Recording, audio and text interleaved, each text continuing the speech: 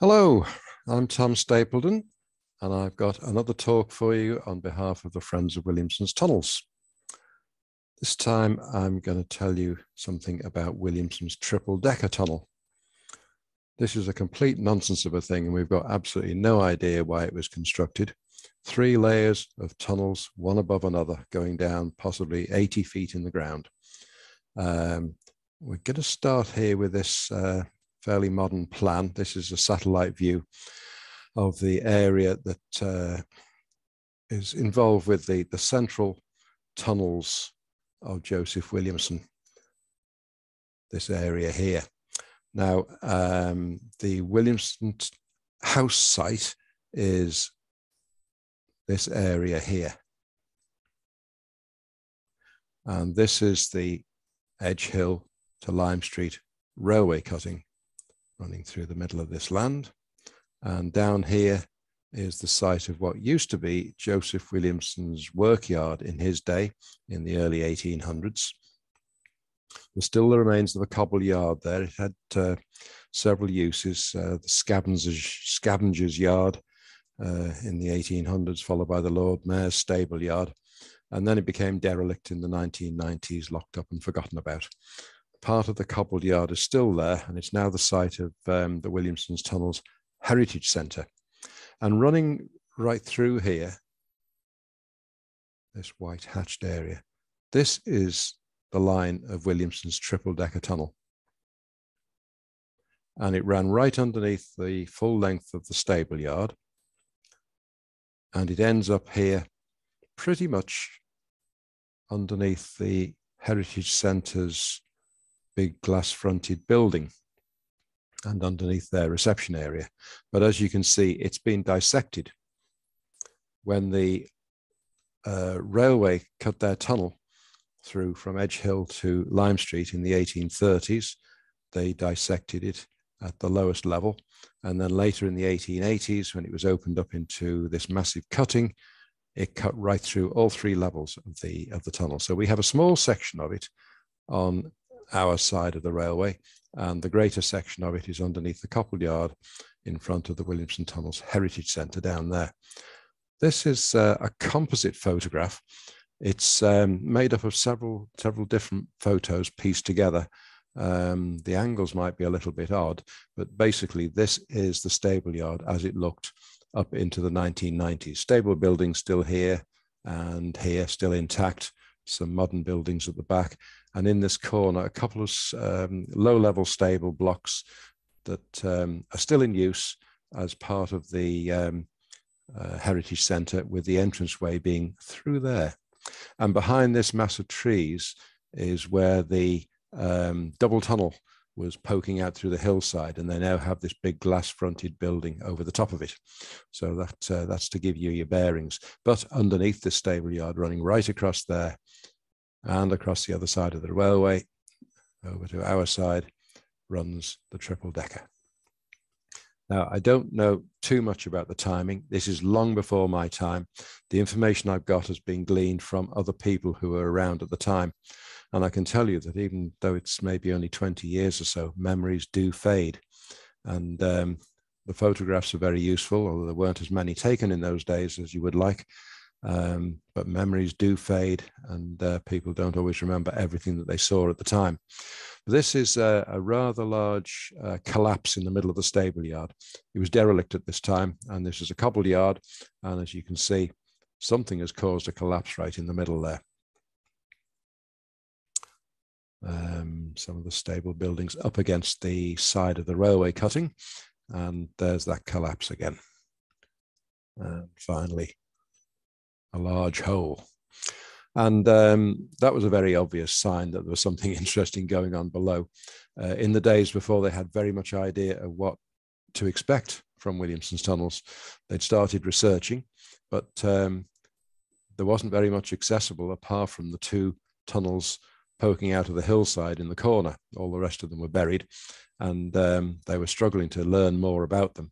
So this, um, I'm not quite sure of the timing. It may have been around 2000, 2001, 2002. They decided to uh, try and get into the triple decker, and this was the route they chose. So from that collapse hole there, they dug down, a square hole there, into a chamber uh, with, a, with a collapsed roof. And in the bottom of it, they found an arch, I believe.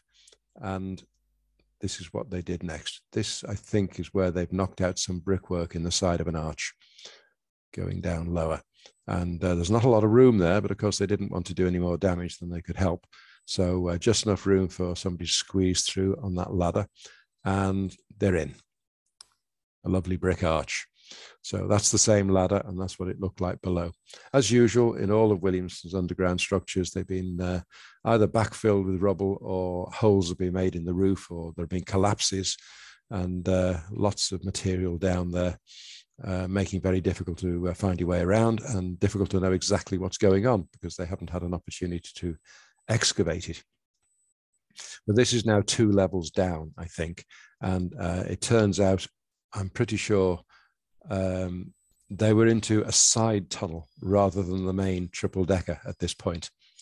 And having got down there, they had to move on. And uh, I believe this wooden ladder was constructed down there in kit form because it wasn't possible to get a ladder down through that entry hole. So they knew they had to do some climbing. So they constructed this ladder while they were down there. And you can see here what was going on. They had to get past this uh, massive rubble here, squeeze underneath the side of that arch, and then there was an opportunity to climb higher up into a higher level above this one in the uh, in the main triple decker tunnel. I think there's a lot of guesswork here. I picked brains and I've tried to get the best information I can to go with the photographs, but it isn't at all clear. I wish I'd been there. Uh, so there's the base of that ladder and it's just underneath that arch and there's the upper end of it. So they're squeezed under the side of an arch there into an upper level. And I think they're now into the top level of the main triple decker tunnel. That's looking up into it from below. It all looks quite dodgy, really, but um, they were real explorers in those days. Um, I think this is probably a bag with a camera being passed up the ladder to uh, Chris Isles there from uh, our Tom Murgatroyd to the higher level.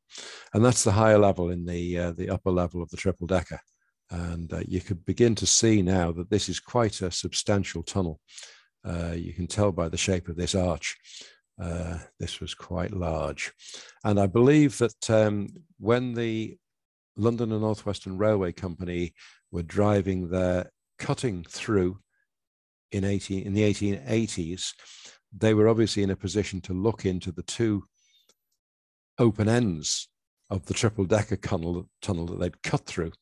And I believe they commented that the, the Williamson triple decker tunnel was so big that it would be quite possible to put two lines of railway tracks in there. So I think that makes it about 25 feet wide.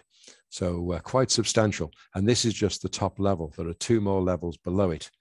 And they went right down as far as the railway went, uh, or possibly even lower. And I think that's probably about 80 feet down in the ground uh, as it passes through this point.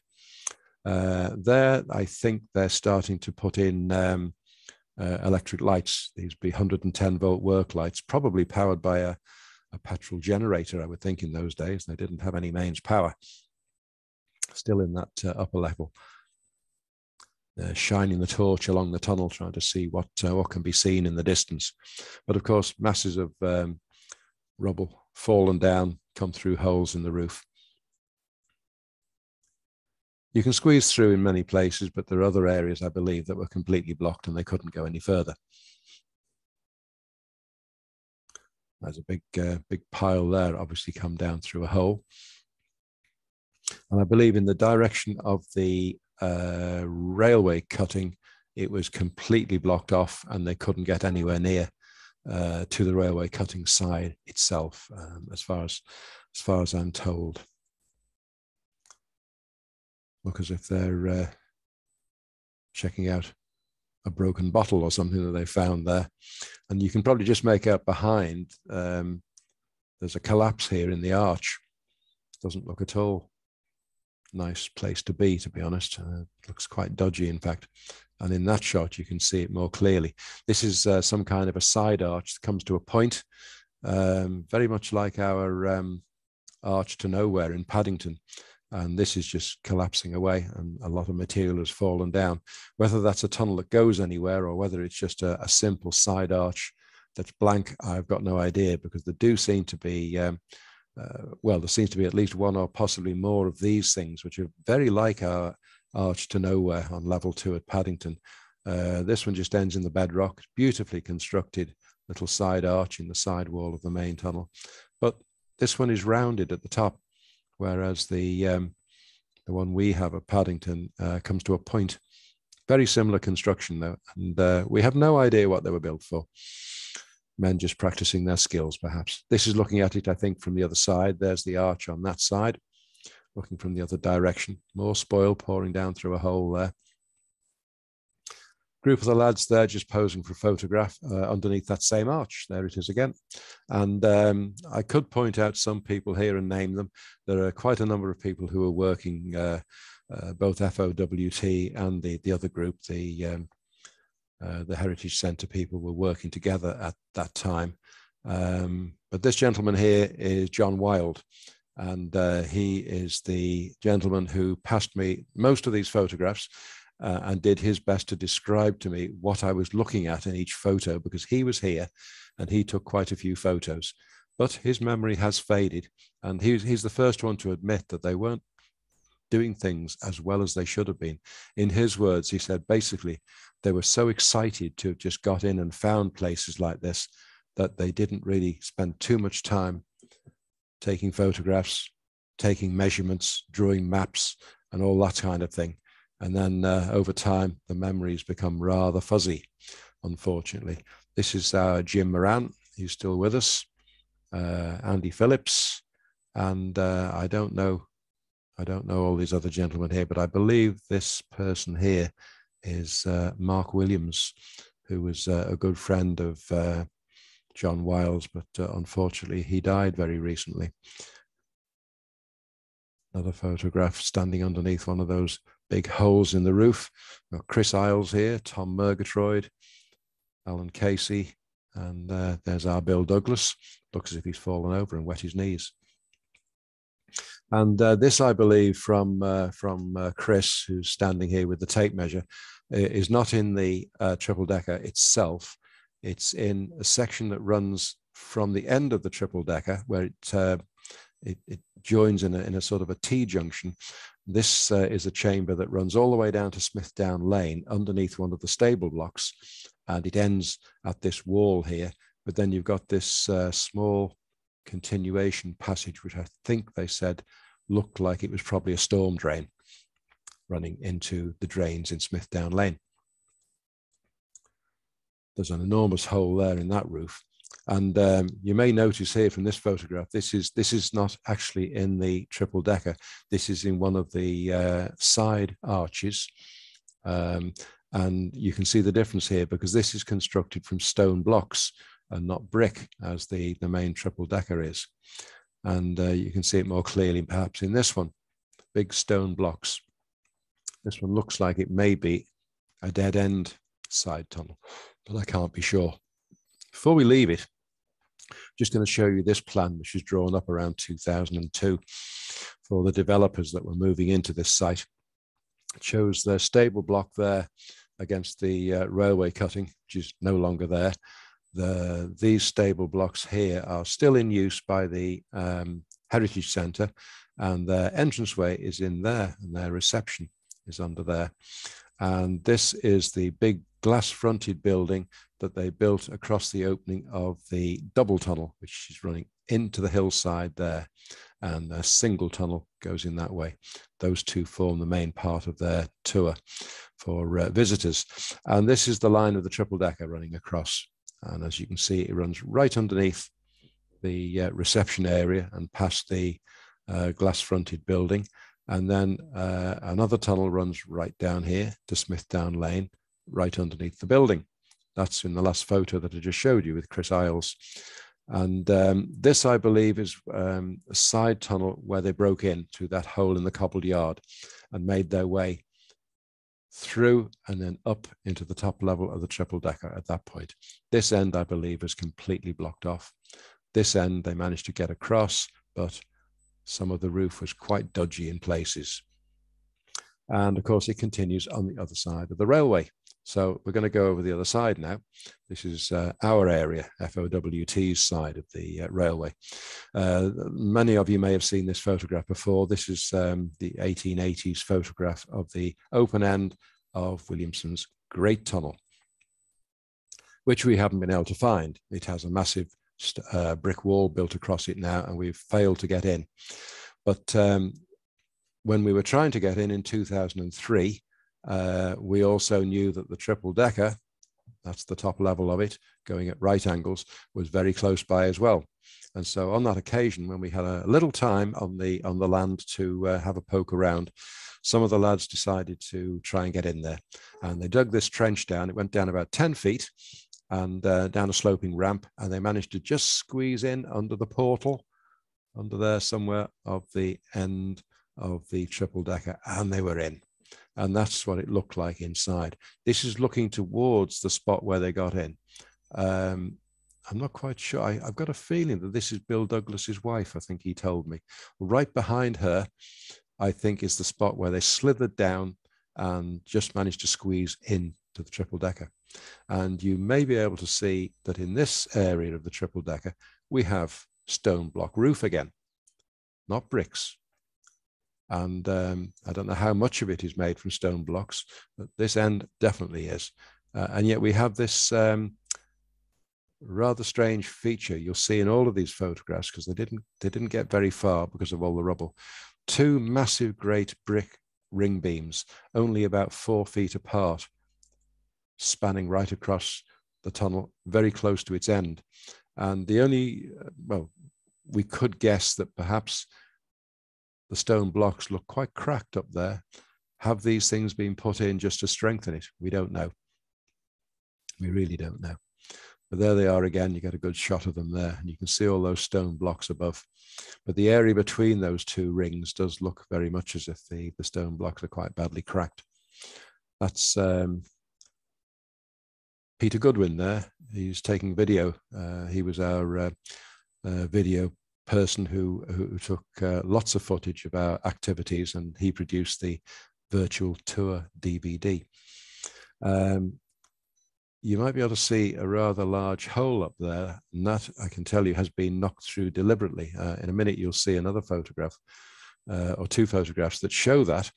Um, and here, I can see that they've got tools. There are shovels, there's a pickaxe, and it looks as if they've been excavating there. I don't know for sure, but that looks like an excavation that they've done.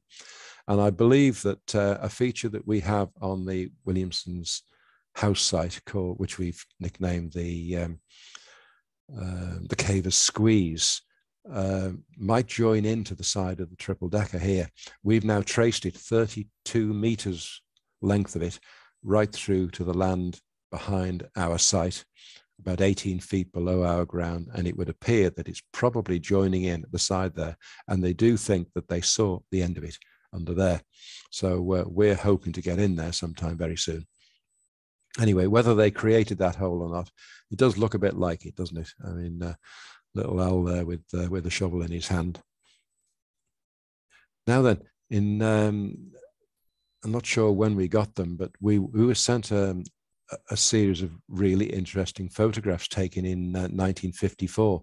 The council were going to build flats on the land uh, below uh, our site where the triple decker runs, and they wanted to know what lay below the ground because they, they knew something about the Williamson tunnels and they didn't want to build over the top of them.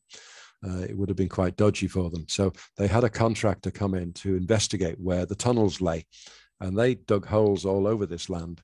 And um, they discovered the triple decker. That, I believe, is the open end, the triple decker, the portal. And this hole is the hole you were looking at a moment ago. And there it is.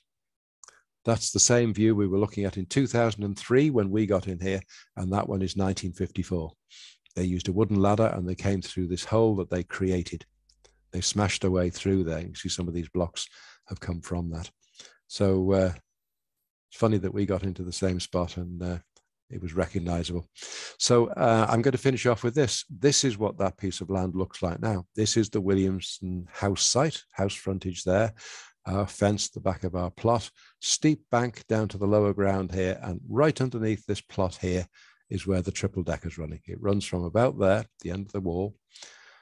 That's where they got in, just under there, and it runs right through the railway cutting and continues on the other side right up to the Heritage Centre um, reception. So we want to get onto this land, which uh, we're working on with Liverpool City Council to give us permission to occupy this. Then we want to uh, create a way down there into the end of the open portal, and then uh, we'd be uh, able to excavate that and see where it leads us and see how big that chamber is below there. And of course, we'd be happy to bring all the spoil back up the slope uh, through gates at the back and uh, into the skips because that's what we've been doing for years and we're quite happy to go on doing it. So that's the story of the triple decker as I understand it so far. Hope you found that interesting. Thank you.